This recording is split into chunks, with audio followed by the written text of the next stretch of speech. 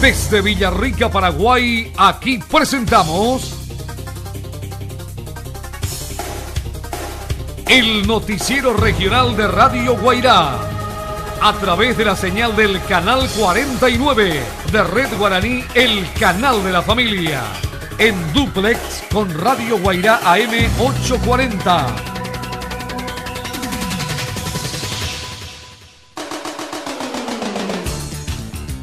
tardes, ¿cómo están? Bienvenidos a nuestro noticiero regional de Radio Guairado, hoy martes 1 de octubre del año 2013. Hoy cumplimos un año de emisión, así es que vamos a estar compartiendo con ustedes, festejando por supuesto, con las informaciones más importantes de hoy. A continuación les presentamos nuestros principales titulares. La Fiscalía analiza el resultado de la pericia caligráfica de los cheques cuya firma fue presuntamente falsificada. Asociación de Intendentes del Guairá Aigua analizó convenio entre municipios y Ministerio de Obras Públicas y Comunicaciones. Pobladores de Iturbe amenazaron con una manifestación si se concretaba el traslado de la doctora Danis Núñez del centro de salud de esa localidad.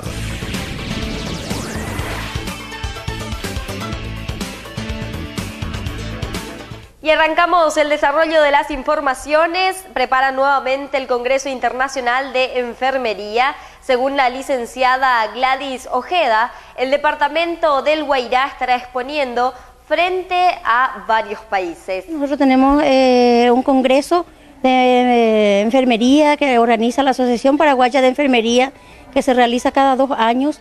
Es un congreso internacional Em, se va a realizar en el Hotel Excelsior los días 3, 4 y 5 de octubre.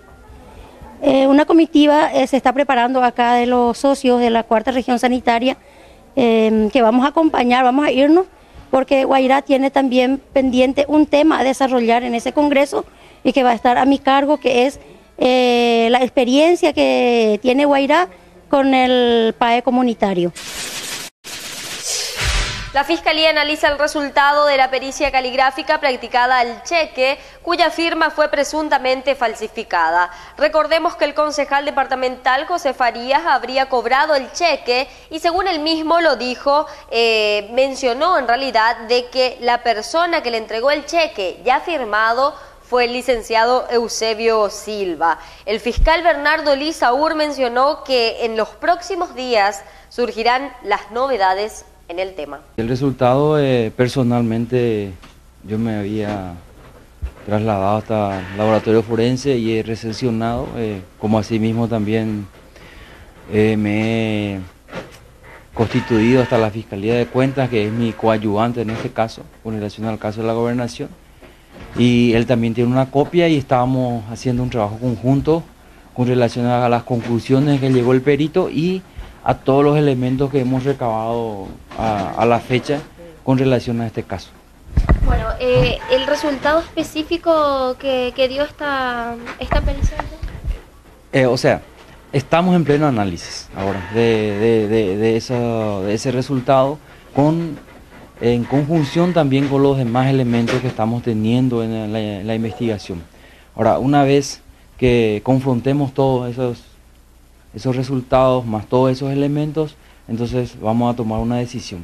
Y a partir de ahí entonces ya se va a hacer noticia también a, la prensa sobre este punto en particular que va a ser, yo creo que en el transcurso de la semana. Pero no obstante a ello eh, decimos de que sí, eh, se está profundizando esta investigación no solamente sobre el tema del cheque en particular, eh, de esos cheques, sino también de otros puntos conjuntamente con la Fiscalía de Cuentas y que eh, en el transcurso de la semana vamos a tener más noticias y por motivo de investigación no, no estamos todavía pudiendo dar, ¿verdad? con relación al resultado en cuestión. Entiendo. Bueno, doctor, eh, recordar un poquito de cómo se hizo esta, esta, denuncia, quién la realizó y quiénes son los imputados, digamos, en el caso, para que para refrescar un poquito a la... No, en principio era una denuncia que había realizado el gobernador eh, actual, eh, con relación a ciertas expediciones de cheques que no tenían origen eh, administrativo o legal. Eh, y en base a esa investigación había surgido el, la verificación de dos cheques que supuestamente habían sido adulterados la firma del titular y que el titular se había presentado en la fiscalía a, corroborar dicho extremo. Entonces a raíz de ese punto entonces se pudo direccionar principalmente dos, dos ámbitos. Primer ámbito, el ámbito de lo que está verdaderamente, eh, verdaderamente individualizado, que son los dos cheques, ¿verdad? que fueron cobrados. Y entonces, sobre ese punto en particular. Ahora, también está el otro ámbito que es la, el tema de la expedición de otros cheques eh, o, o, también otras, otras cuestiones que tienen que ver en el ámbito administrativo que está a cargo de la Fiscalía de Cuentas y que también eh, la Fiscalía de Cuentas, yo creo que la otra semana eh, estaría ya también con un perito de obras también presente acá en la ciudad para hacer también el trabajo respectivo, para hacer ya en conjunto y podamos tener una, eh, una conclusión al respecto. La Asociación de Intendentes del Guairá, AIGUA, eh, analiza un convenio con otros municipios y el Ministerio de Obras Públicas y Comunicaciones. El director regional del MOPC estuvo presente en la sesión ordinaria de esta mañana y expuso cuál es la situación del MOPC. En este caso, eh, la intendenta de Embocayatú, Norma Godoy, presidenta del AIGUA, habló con respecto a este tema. Con la visita del nuevo director del MOPC, acá regional, Ñumí, y bueno, él está un poco exponiendo el sistema de trabajo a utilizar en el departamento con los diferentes distritos, con los municipios y estamos, estamos hablando, debatiendo sobre la firma de un convenio entre el Ministerio de Obras Públicas, la Gobernación y los municipios para la cooperación de, los trabajos a realizarse. Eh, como todos saben, ahora mismo el Ministerio de Obras Públicas no cuenta con combustibles, también con eh, ciertos insumos y bueno, entonces en ese marco es el diálogo. También un poco el ingeniero Argaña está explicando cuáles son específicamente las, tareas que le corresponden a, la oficina regional acá del departamento y, los distintos municipios eh, exponiendo sus necesidades, sus realidades y de cómo realmente se va a hacer el trabajo de ahora en más. Bueno, en este caso escuchábamos también que algunos intendentes lo que le preocupaba, por ejemplo, era el convenio por la parte de combustible, el cual eh, las, comunas, las comunas tienen bastante limitadas Así es, Lorena. Nosotros tenemos un presupuesto elaborado para, para el año del combustible en base a todo lo que requiere el municipio. Eh, para los que tienen tractores, desmalezadoras, para toda la limpieza. Y bueno, eh, excede un poco a ese presupuesto estos últimos tiempos que, eh, desde hace un tiempo ¿verdad? contamos con maquinarias pero los municipios tienen que proveer combustible y eso un poco desequilibra a los municipios porque el combustible para las maquinarias viales se habla de mucho dinero por, por día y, y, más todavía si se va a hacer el arreglo de camino de todo el distrito. Ahora que la lluvia se viene constantemente y a cada lluvia se deterioran los caminos, se tienen que arreglar, es una situación que nos tiene un poco tambaleando a los municipios mismos por esa precariedad por esa falta de, de, combustibles. ¿Piensan que, podría ser posible este convenio, Intendente? Sí, yo creo que sí, esto se va a dar, justamente yo le estaba pidiendo al, ingeniero que, gestione, que propicie una reunión inclusive con el ministro de Obras Públicas, eh, nosotros con el gobernador y todos los intendentes, los asociados a la AIGUA, para la firma de este convenio y, y escucharle un poco al ministro también sobre su programa de gobierno, ¿verdad? Como eh, estabas escuchando, es una ilusión de todos los distritos el recapado, sobre, el recapado asfáltico sobre el empedrado, cosa que le estuve yo escuchando en una radio capitalina al ministro que técnicamente no ve con buenos ojos ese trabajo. Y, bueno, ese tipo de cosas, entonces escucharle a él, dialogar y, saber también nosotros como representantes de, del pueblo qué decirle a nuestra gente sobre sus, sobre sus pedidos, sobre su insistencia hasta hacia, hacia ciertas cosas. Entonces tener ya un norte también nosotros de, de lo que se va a hacer y de lo que no se va a poder hacer en este caso. Por su parte, el director regional del MOPC, Carlos Argaña García, mencionó que existe una buena predisposición para trabajar mediante convenios con comunas. Estamos teniendo un pleno acá con la autoridad del departamento en sí, lo que, es, lo que atañe lo que es la asociación de intendentes del, Guairá, ¿verdad? Estamos eh, manteniendo una reunión de esta manera exponiendo todos los temáticas, lo que sería la forma de desenvolvimiento del trabajo en sí, lo que corresponde a nosotros en cuanto a mantenimiento de caminos rurales. Y eh, eso, eh, eso principalmente, ¿verdad? Eh, estamos manifestando todos los, los puntos que se tienen que tratar a priori para empezar los trabajos.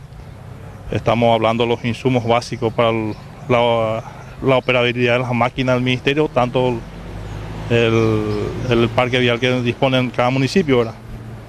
Eh, de la misma forma estamos hablando del convenio, que eh, hay una tratativa de convenio a través de los bancos de mejoramiento de caminos rurales que ya está en curso. Y de la misma forma otro convenio paralelo que el, señor ministro en su momento eh, tengo entendido que va a firmar con, con el pleno mayor de la asociación de los intendentes y a la par con la gobernación local, ¿verdad?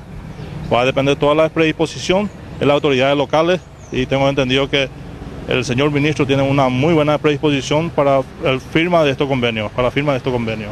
Bueno, ingeniero, estamos viendo que lastimosamente el Ministerio de Obras Públicas y Comunicaciones actualmente cuenta con, digamos, un presupuesto bastante limitado, no cuenta con combustible y todo eso también. ¿Cómo se puede agilizar ese trabajo? Bueno, eh, en realidad, en realidad esos insumos básicos se va a ir regularizándose conforme a la disponibilidad eh, en cuanto al, presupuesto de gasto en sí a nivel ministerial. ¿verdad? Ese no me corresponde a mí hablar sobre ese tema, a mí me corresponde más bien la parte técnica y la operabilidad del parque vial del ministerio acá en la unidad distrital. Eh, en realidad nuestra base se encuentra en, la, en, localidad de Ñumí, ¿verdad?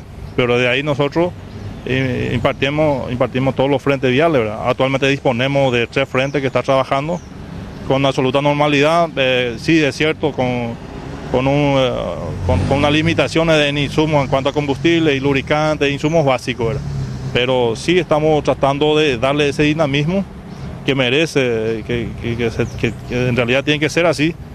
Y eh, por sobre todo romper un poquitito esa inercia el, esa inercia del parque cerrado que estamos manteniendo los equipos viales, ¿verdad? Y estamos, gracias a Dios, estamos ya moviendo prácticamente un 80% del, parque vial en sí. ¿Cuáles son los tramos más urgentes a nivel regional? Bueno, estamos haciendo las evaluaciones pertinentes. Eh, aparentemente la mayoría de los tramos principales intermunicipales están, no están en buenas condiciones.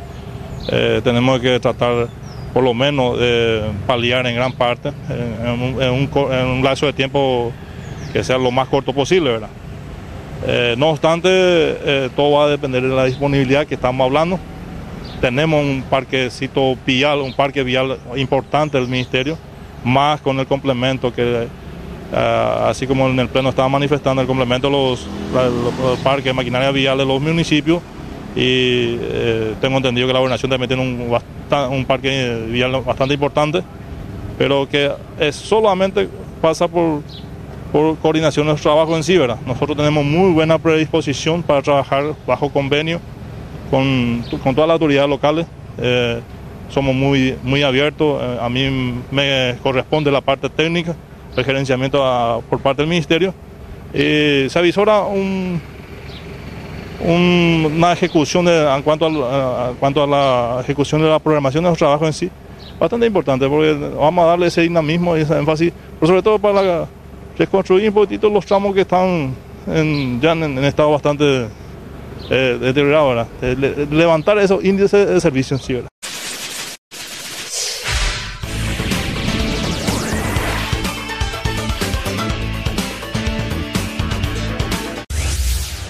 desea tener éxito en sus ventas, le ofrecemos llegar verdaderamente a la gente.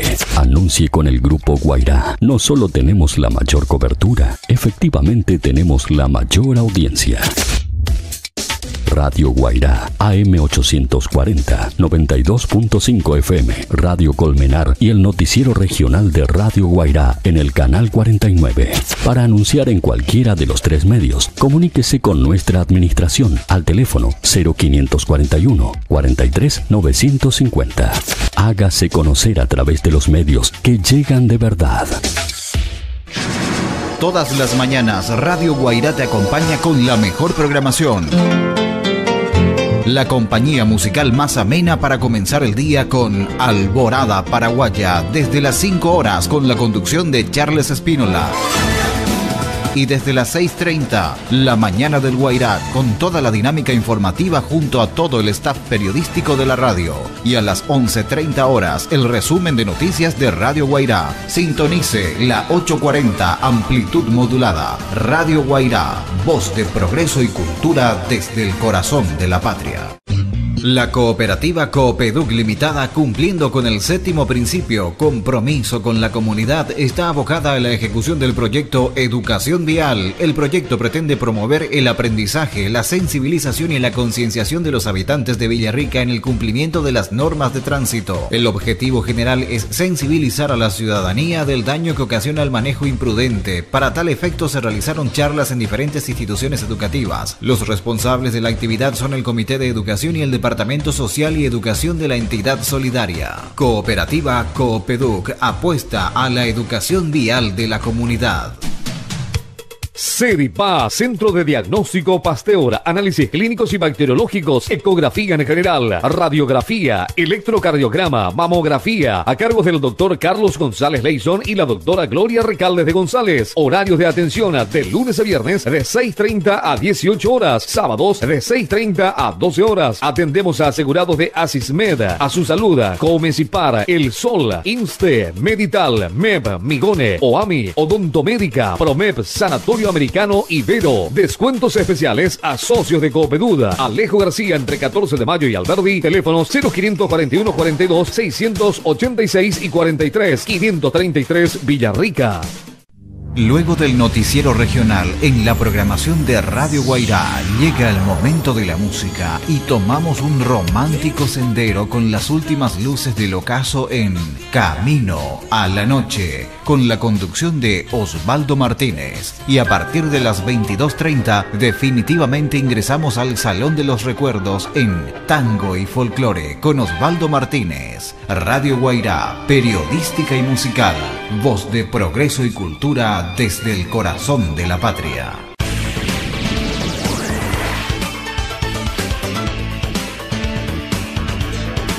Ya están disponibles los antídotos para paliar las reacciones adversas al dextrometorfano en el departamento del Guairá, según anunció el director del Hospital Regional de Villarrica, el doctor Esteban Ramírez. Ya hemos recibido el antídoto para el problema que está causando el medicamento dextrometorfano.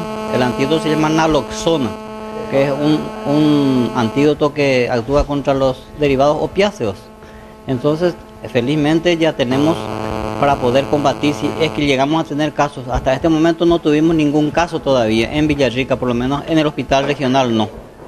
Y en caso de que llegue a tener, vamos a poder solucionar el problema porque tenemos el antídoto que es el ideal en este caso. Pobladores de Iturbe amenazaron con una manifestación si se concretaba el traslado de la doctora Danis Núñez del centro de salud de esa localidad.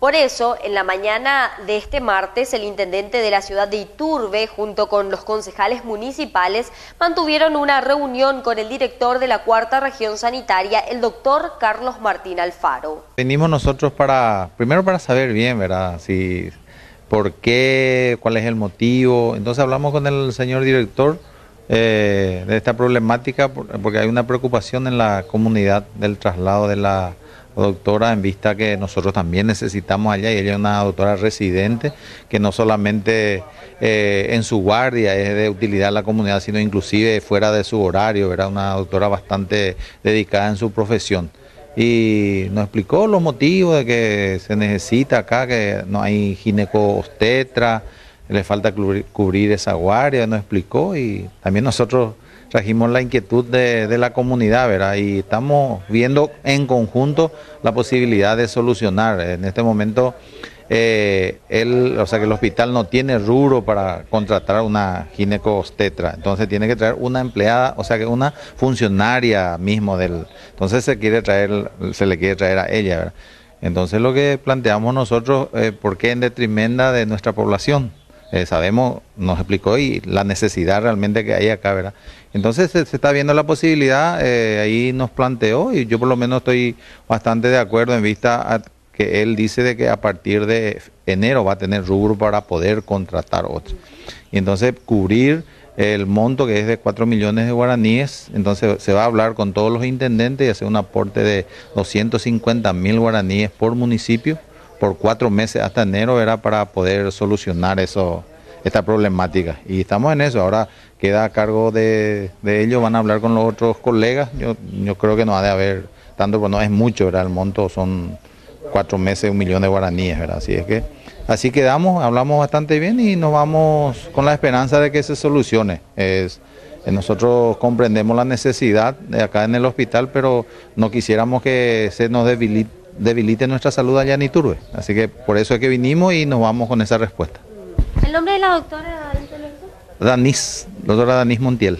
Bueno, ¿y estuvieron trabajando con ella ya desde cuánto tiempo? ¿Hace mucho tiempo? No, hace rato que ella está, inclusive fue mucho, muchos años directora de IPS allá en Iturbe y a la vez es funcionaria del centro de salud, ¿verdad? Y eh, una doctora, aparte en su especialidad no tenemos nosotros otra opción en Iturbe, no, no hay otra ginecostreta, entonces por eso más todavía la, la preocupación y es más, eh, también ya fue trasladado un médico, era que hacía guardia ya los días miércoles, el doctor Maidana ya también ya fue trasladado y ahí nos callamos un poquitito, eh, pero ahora si viene, ella también ya va a ser dos días que no vamos a tener doctor y más todavía por la especialidad de la doctora. Por su parte, el concejal municipal de Iturbe, Germán Gauto, mencionó que se quedan más tranquilos luego de conversar con el director de la cuarta región sanitaria, ya que llegaron a un acuerdo. En vista de que la comunidad misma se quería manifestar y estábamos en desconocimiento por qué el motivo del traslado de la doctora, ¿verdad? Y no es la primera doctora, el doctor Maidana ya fue trasladado. Prácticamente estamos sin dos médicos de guardia que estaban cubriendo el hospital allá, el centro de salud de Iturbe y como ustedes saben, el Centro de Salud Iturbe es la, donde asisten la gente más humilde, la gente que no tiene posibilidad de manifestarse de alguna u otra manera. Y por eso estamos mezquinando mucho también ese aspecto para que no estemos eh, sin médicos que puedan dar eh, respuesta a la necesidad que estamos teniendo en Iturbe. ¿Hasta el momento están conformes con el acuerdo al cual están llegando? Asimismo, eh, tuvimos una recepción muy positiva de parte del director, eh, nos recibió bastante bien, nos explicó el motivo él comentó que acá también hay una deficiencia, eh, una falencia en la parte de ginecostetricia, no estaba teniendo también médico, por eso optaron para traerle a ella, no es un traslado, es un traslado supuestamente momentáneo, ¿verdad? pero uno no sabe cuando uno viene ya no sabemos si va a volver nuestro médico, ¿verdad? entonces buscamos una salida y salimos prácticamente conforme, ojalá que se dé la manera que planteó, porque todos los municipios van a va, van a hacer un aporte, no es mucho, ¿verdad?, para que se pueda contratar el médico acá para el hospital regional. Esta mañana también se llevó a cabo el lanzamiento de la gira Teletón en Villarrica. En la oportunidad, el director de Estrategias de Inclusión, Bruno Bacotti, explicó el objetivo de esta gran gira que una vez más va a realizar Teletón. Llegamos otra vez como Fundación Teletón a la ciudad de Villarrica por quinto año consecutivo con el evento que es conocido como La Gira. La Gira busca eh, promover un mensaje de inclusión a nivel nacional y también preparar a la gente para lo que vamos a vivir dentro de justamente hoy un mes, que es la gran maratón televisiva que es la Teletón. Eh, un desafío que tenemos todos los paraguayos de poder superar la meta del año anterior. Este año tenemos la alegría de poder entregar el 1 y 2 de noviembre, día de la Teletón, el tercer centro de rehabilitación en la ciudad de Paraguarí. Este es un logro compartido que tenemos entre todos, porque sin la ciudadanía, que es la que aporta casi el 70% de todo el dinero que se le permite administrar a Teletón, no se podría lograr. Así que cuando hablamos de los logros de Teletón, hablamos de los logros de todo el Paraguay. Y también Mariela, una de las voluntarias de Teletón, invitó a todas las personas que quieran formar parte del voluntariado de esta noble causa. En nombre de todos los voluntarios de Iniciativas del Interior al cual representamos, yo quiero instarle a todos los jóvenes porque somos el motor en la ciudad, así es que quiero invitarle a cada uno que se acerquen. Para este domingo va a haber una mesa en donde se les pueda anotar y puedan acercarse a ser voluntario de Teletón a trabajar por esta noble causa es digno de merecido.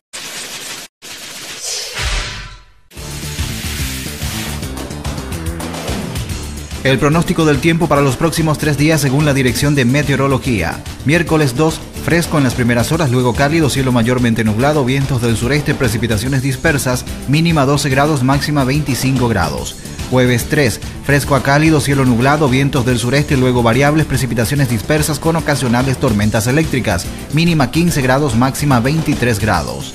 Viernes 4, fresco a cálido, cielo nublado a parcialmente nublado, vientos del sur, mínima 13 grados, máxima 24 grados.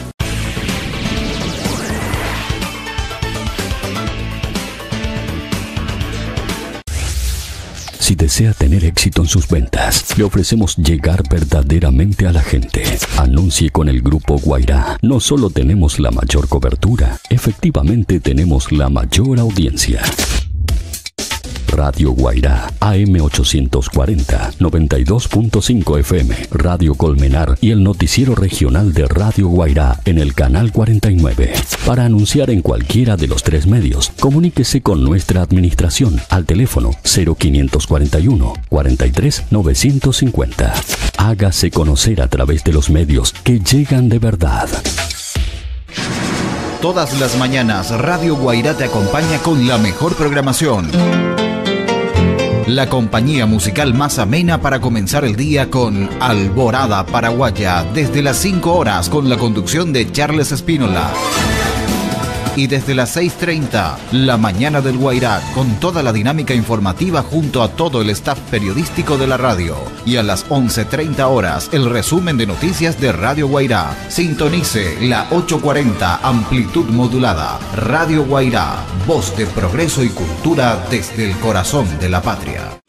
La cooperativa Coopeduc Limitada, cumpliendo con el séptimo principio, compromiso con la comunidad, está abocada a la ejecución del proyecto Educación Vial. El proyecto pretende promover el aprendizaje, la sensibilización y la concienciación de los habitantes de Villarrica en el cumplimiento de las normas de tránsito. El objetivo general es sensibilizar a la ciudadanía del daño que ocasiona el manejo imprudente. Para tal efecto se realizaron charlas en diferentes instituciones educativas. Los responsables de la actividad son el Comité de Educación y el Departamento Departamento Social y Educación de la entidad solidaria. Cooperativa Coopeduc apuesta a la educación vial de la comunidad. Luego del noticiero regional en la programación de Radio Guairá llega el momento de la música y tomamos un romántico sendero con las últimas luces del ocaso en Camino a la Noche con la conducción de Osvaldo Martínez. Y a partir de las 22.30 definitivamente ingresamos al Salón de los Recuerdos en Tango y Folclore con Osvaldo Martínez. Radio Guairá, periodística y musical, voz de progreso y cultura desde el corazón de la patria.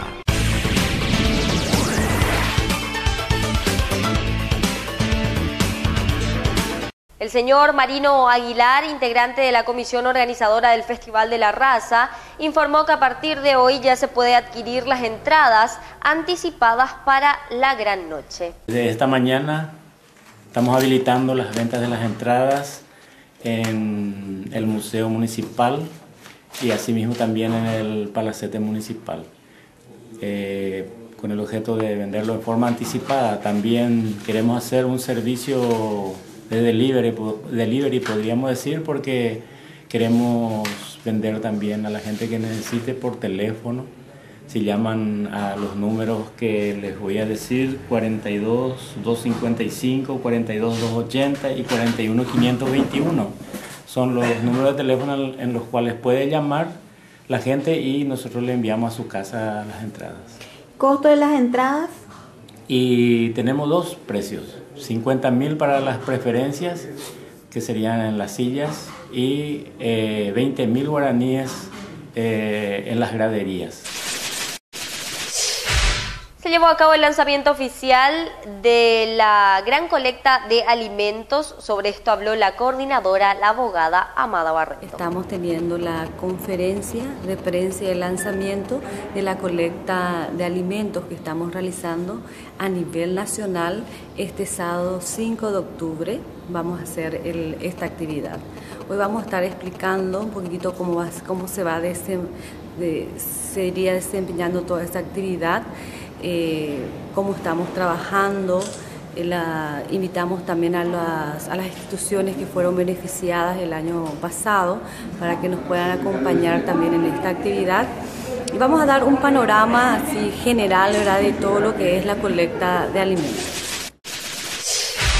El telecentro municipal ya cuenta con los nuevos equipos informáticos al servicio de toda la comunidad. Sobre esto hablamos con la encargada, la licenciada Sonia Rojas. Estoy muy contenta y muy conforme porque sí están acudiendo los chicos especialmente a las, eh, jovencitas que vienen del colegio para hacer sus trabajos y hay también universitarios que están aprovechando al máximo nuestras nuevas computadoras aquí en el telecentro comunitario. Aproximadamente cuántos eh, diariamente, cuántos jóvenes niños vienen aquí al telecentro?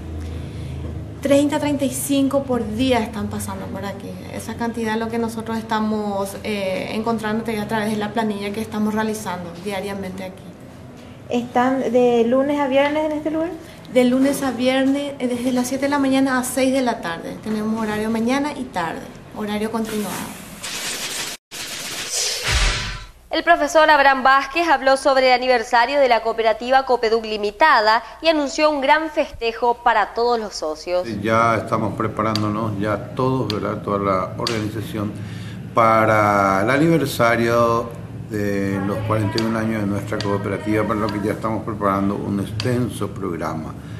Eh, primero la Semana Cultural, ¿verdad? Tenemos también con los el encuentro y la exposición de la artesanía. Después este año estamos pensando una cena show donde pueda compartir toda, todo, todos los asociados a la cooperativa para festejar el gran éxito de nuestra cooperativa, porque de aquí a esta parte, ¿verdad? La cooperativa va teniendo un crecimiento muy acelerado y creo que esto se debe a la concienciación de todos sus asociados que realmente tienen ese sentido de pertenencia y empiezan a apoyar este crecimiento de nuestra cooperativa.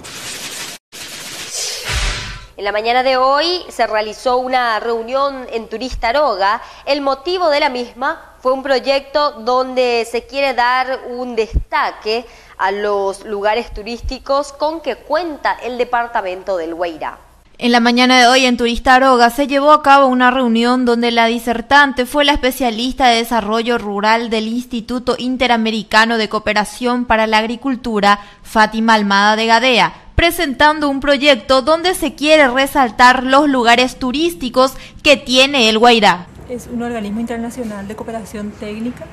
Lo que estamos haciendo acá es elaborando un plan de desarrollo turístico y vamos a trabajar con énfasis principalmente en el Distrito de Independencia. Acabamos de terminar un diagnóstico de la situación turística del departamento con énfasis en, algunos distritos, eh, principalmente, Villarrica, Iturbe, eh, como les dije, Independencia. Y ahora la idea es elaborar un pequeño plan con algunos proyectos bien concretos para una puesta en valor de algunos atractivos turísticos del departamento. Esperamos tener listo ese plan para diciembre de este año y a partir del próximo año empezar a ejecutar algunas, algunas acciones bien concretas. No busca hacer un plan eh, grande, sino busca principalmente dejar algún valor agregado acá a nivel departamental con énfasis en independencia, como les decía, a partir de lo que ya existe en el, en el territorio. ¿Cómo nace esta idea? Esta idea nace realmente así como se está desarrollando en Paraguay, se está desarrollando también en Venezuela y en Panamá. El IICA tiene 34 oficinas distribuidas en toda Latinoamérica. Entonces lo que hicimos fue como, como instituto implementar este proyecto en tres países de América Latina y es una iniciativa del IICA para tratar de apoyar como una de nuestras líneas eh, transversales de acción es la del turismo rural, con énfasis al turismo rural comunitario. La idea es implementar en estos países, empezar o iniciar trabajos de desarrollo turístico. Es lo que vamos a diseñar, estamos queriendo empezar a diseñar porque como un plan, eh, la idea es escribir en forma conjunta, en forma participativa y también dimensionar el costo económico que vaya a tener esa intervención. Todavía no tenemos dimensionado porque estamos arrancando ahora mismo, hoy justamente acabamos de terminar el diagnóstico y ahora lo que nos queda es, sentar, es sentarnos y empezar a, a definir los objetivos que queremos alcanzar, las acciones que vamos a desarrollar y el costo de esas acciones. Lo que tenemos previsto es que para diciembre tengamos toda esa información finalizada. El próximo 5 de octubre los abogados elegirán el representante ante el Consejo de la Magistratura. El doctor Eugenio Galeano pertenece a la lista B que apoya al doctor Juan Ramón Bueno. Eh, existe una convocatoria para el próximo sábado, 5 de octubre, oportunidad en que se va a llevar adelante la, las elecciones de los candidatos del gremio de los abogados para representar a los abogados del Paraguay ante el Consejo de la Magistratura. Y estamos ofreciendo la candidatura de nuestro eh, candidato que es el doctor Juan Ramón Buenojara, en base a algunos antiguos criterios que venimos sosteniendo. En primer lugar, la independencia de nuestro representante de cualquier eh, compromiso, atadura, favores debido eh, a ningún sector, ni político, ni eh, de otra influencia exógena, ni de poder. Por su parte, el abogado Carlos Cabrera enumeró las cualidades del doctor Juan Ramón Bueno Jara. Que el anhelo de este movimiento es realmente buscar un país diferente, donde la justicia cumpla con su parte, con abogados dignos, magistrados verdaderamente libres y con un sistema de selección competitivo. Para ello tenemos algunas propuestas, de las cuales quiero también mencionar algunos de ellos. Por ejemplo, tener presente la experiencia y conducta en el ejercicio del cargo de los funcionarios judiciales, del Ministerio Público, la defensa pública, la justicia electoral, así como de los abogados en el ejercicio privado de la profesión. Evitar las ternas digitadas, haciendo respetar de ese modo la dignidad del profesional abogado, suprimiendo el manoseo a la trayectoria profesional. También bregar por la descentralización de la escuela judicial, creando en la medida de la responsabilidad, responsabilidades presupuestarias filiales en todas las circunscripciones judiciales de la República. Clarice Riveros también es una de las abogadas que está realizando la campaña a favor del doctor, en este caso Juan Ramón Bueno Jara.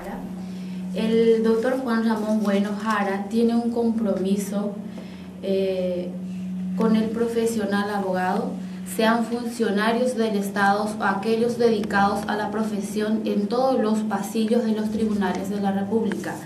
El doctor Bueno Jara es un, es un abogado conocedor de la administración de la justicia y es un luchador tenaz, perseverante por el respeto a la dignidad del profesional abogado. Por eso insto a todos los abogados a participar de las elecciones que se realizará el 5 de octubre y votemos por la lista B. El abogado Manuel Franco sostiene que se debe cambiar el sistema de elección del Consejo de la Magistratura. Se debe hacer por voto popular. Dijo y también expresó que es inconstitucional que la Universidad Católica tenga que tener un representante en ese lugar. Eh, cuestiono de que el representante de una secta religiosa, en este caso la católica, eh, esté en el Consejo de la Magistratura. ¿Por qué? Porque eso es anticonstitucional. porque si la Universidad Católica tiene un representante, también tendrían que tener las otras denominaciones religiosas como bautista, adventista, testigo de Jehová, judíos, mormones, etc. Y por otro lado tenemos que tener en cuenta que hoy día eh, la mitad de la población paraguaya es católica y la mitad no es católica. Entonces, y por otro lado, hay algo muy importante. El Vaticano es un Estado y no está permitido a un Estado extranjero tener un representante dentro de un órgano de otro Estado. Entonces yo creo que eso es anticonstitucional. Vamos cerrando nuestro servicio informativo del noticiero regional de Radio Guairá. Nos reencontramos mañana, Dios mediante. Que tengan todos un feliz resto de jornada. Muchas gracias por su atención.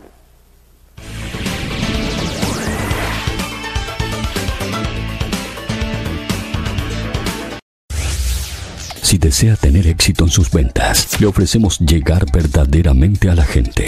Anuncie con el Grupo Guairá. No solo tenemos la mayor cobertura, efectivamente tenemos la mayor audiencia. Radio Guairá, AM840, 92.5 FM, Radio Colmenar y el noticiero regional de Radio Guairá en el canal 49. Para anunciar en cualquiera de los tres medios, comuníquese con nuestra administración al teléfono 0541 43 950. Hágase conocer a través de los medios que llegan de verdad.